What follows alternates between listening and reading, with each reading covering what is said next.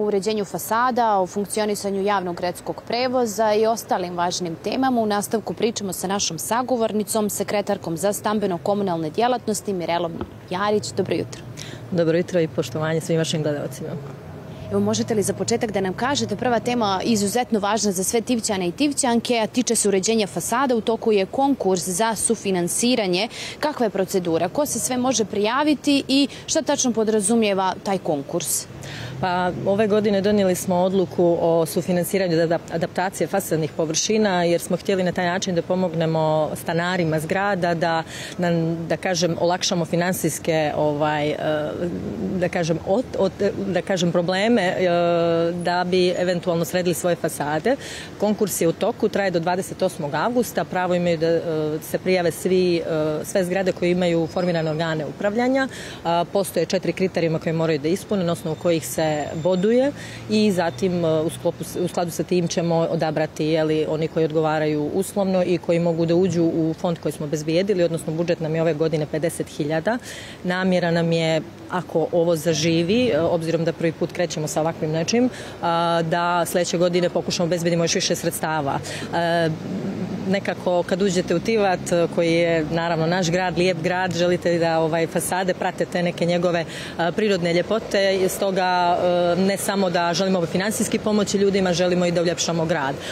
Kre, od centra grada zoniramo i druga naselja, tako da eto ako Bog da riješit ćemo pomalo makar po neku zgradu i da upristojimo izgled istih. A zašto tačno može ići taj novac i kakva je to kada pominjete i organe upravljanja, kakva je saradnja sa predstavnicima stanara?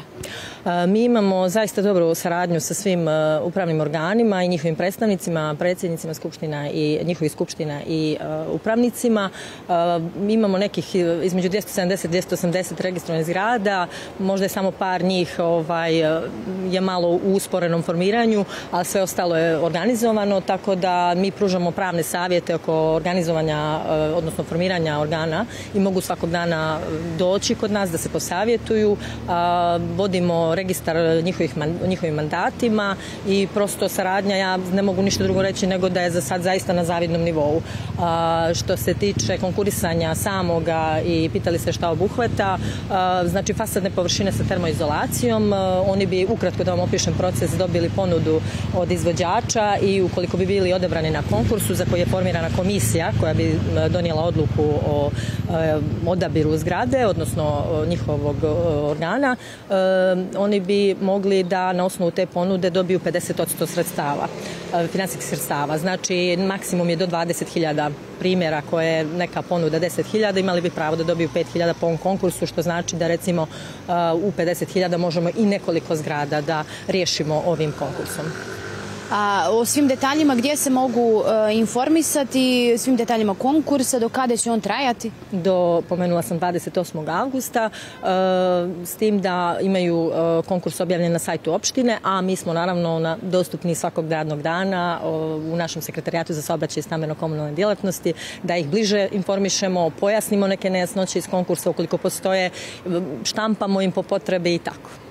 E sad, druga važna tema jeste e, uspostavljanje linije električnog autobusa Aerodrom Tivat. Kada se to može očekivati i e, hoće li to riješiti neke probleme koje postoje kada je riječ o funkcionisanju gradskog prevoza?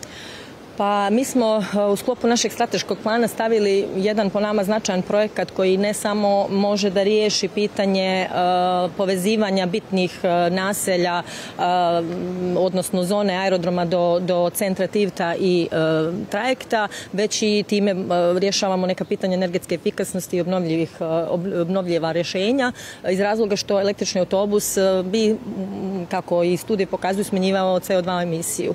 Tako da tu su, da kažem, dva razloga zašto smo se prihvatili ovog projekta. Dobili smo sredstva u sklopu Apollo projekta IPA programa da kupimo jedan električni minibus, te smo odlučili da e, ga iskoristimo, da napravimo svoju liniju električnog, da kažem, pogona e, za javni prevoz koji će iziskivati i dodatne aktivnosti i u samoj odluci i kreiranju oglasa i povjeravanju i tako dalje, da vas birokratski ne, ne gušim sada tematikom. Ovaj, I samim tim bismo ga dodijelili, ideja neka naša u ovom pilot projektu koji smo definisali je da ga dodijelimo našem parking servisu koji bismo licencirali za isto, da bismo probali u sklopu naših snaga odraditi jednu dionicu, odnosno jednu, jednu liniju gradskog prigradskog saobraćaja, što bismo negdje ciljano upotrebili za smanjenje gužvi, znači da pokušamo da ljudi što više koriste javni prevoz, a i boga mi da povežemo jel te dvije ključne zone koje trenutno javnim gradskim prevozom jesu pokrivene u sklopu postojećih autobuskih stajališta, ali ne i jasno definisane od tačke A do tačke B u, u pogledu spajanja aerodroma i recimo trajekta. Eto, kada govorimo i o gradskom prevozu, početkom e, godine prezentovane upravo i studija koju pominjete gradskog i prigradskog prevoza. E, šta je pokazala? Koji su to glavne prednosti, ali i nedostaci i kako raditi i koliko je urađeno do sada na redovnosti, tačnosti e, gradskog prevoza na toj samoj povezanosti? Pa studije je u svakom slučaju bilo koju studiju da radite, ona je prednost sama po sebi. E, znači studija je pokazala ta e, neke vrste unapređenja koje trebamo da odradimo, između ostalog dovedemo e, par novih linija, bolja povezanost prigradskih naselja, iterativnost saobraćanja na linijama jer su nam dali i redove vožnje, pokazala nam neki finansijski moment koji bismo trebali odvojiti, imamo više varijanti finansijskog momenta koji bismo, gdje bismo trebali odvojiti sredstva da poboljšamo sam javni prevoz.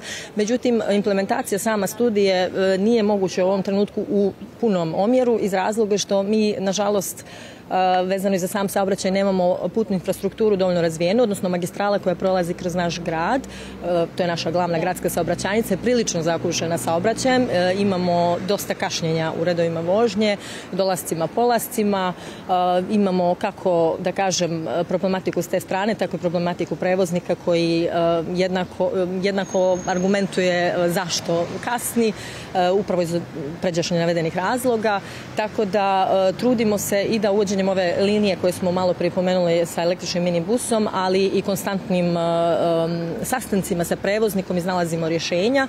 Tako da, eto, nadam se nekom doglednom vremenu narednih nekoliko godina da ćemo moći nešto i da riješimo po tom pitanju i kada nas očekuje uspostavljanje ove linije u narednih koliko godina? Pa po projektu koji smo planirali u sklopu strateškog plana e, mi smo dali sebi rok neke dvije godine. Ove godine već planiramo da započnemo proces kupovine električnog minibusa, šta više već smo već radimo na specifikacijama. E, čim e, izvršimo kupovinu, u međuvremenu ćemo raditi na samom, da kažem, zakonodavnom dijelu, odnosno birokratskom dijelu, da obezbijedimo i sve uslove u skladu sa zakonom da ta linija linija može i da saobraća, da, odnosno autobus može na toj liniji da saobraća, tako da nekih 24 mjeseca, dvije godine bi recimo bilo realno očekivati da to bude, što se kaže, onako kako treba.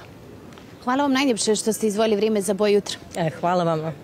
Hvala na svim ovim informacijama. Dakle, sigurna sam da su ovo i tekako važne informacije za sve Tivćane i Tivćanke. O svim e, ovim detaljima možete se informisati i putem e, sajta opštine Tivat.